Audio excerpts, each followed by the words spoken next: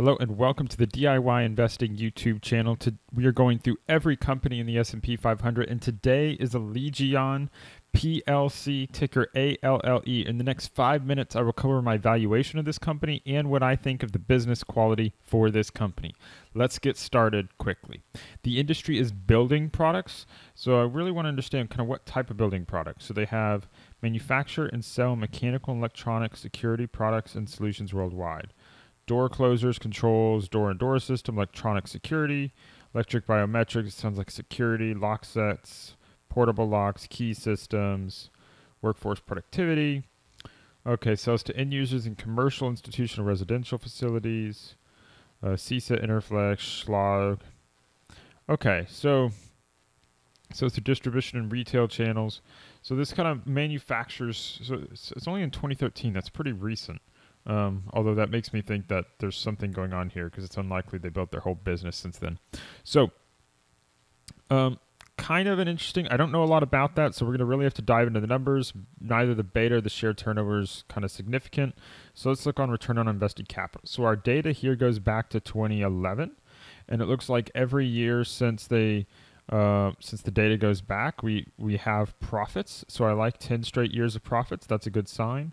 Um, the numbers are all over the place. Um, if we maybe take 2014 as the first true year where they've kind of stabilized, it looks pretty good. Since then, you've had 13%, 10, 14, 15, 21, 18, 14. The numbers are certainly fluctuating, but they're positive and they're all double digits. So I'm really excited about that. With a little bit of debt, you could definitely lever this up to be an attractive return on equity, which at least what we're seeing here suggests that's what it is. So you have all double digit 10 year median returns. That's a good sign, and positive return on equity of 48%. So the 10 year CAGRs aren't calculating because the 2011 data isn't complete and the 2012 data isn't complete. So we're going to have to judge without that data. PE ratio of 24, that's a bit high. Price to book of 12 is high. Um, again, I'd, I'd, like this to be under 15, but again, with the right growth, we could justify higher. So without our 10 year CAGRs, let's just look at gross profit margins looks pretty stable. So 40, 40, 41, 40, 42, 44, 44, 43, 43, 43. So pretty stable gross profit margins. That's a good sign. Indicates a relatively high quality business. I like what I'm seeing there. The only downside here is it does not look like there's much growth at all. So you begin the decade at around 810 million in gross profit. You end at 1.1 billion. That's very little growth. A lot of years the revenue growth is pretty flat. Um, I mean, you're getting single digit growth, but nothing nothing fantastic. Operating profit doesn't even double in the decade, and you see earnings per share is up about 50% across the decade. That's really not enough to make me excited about paying a PE of 24. So let's see what else we can see on the income statement.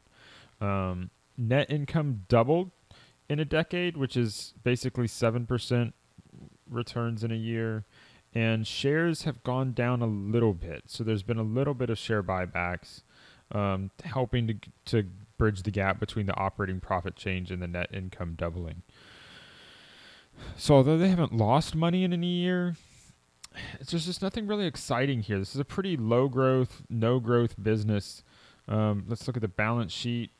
We are using some debt to give us a little bit of leverage, which you can see they have about one one and a half billion dollars in debt um, which isn't much on their market cap, about 10% of the market cap. Um, let's see cash flow. So again, every year positive cash flow from operations. That's a very good sign. They're not having to invest a lot of it in property, plant, and equipment. This is why they're able to maintain a relatively good return on invested capital, and they're using that money to pay dividends and to buy back shares. Unfortunately, there's not much growth here. So despite having a good return on invested capital, it's really hard to justify a PE ratio of 24.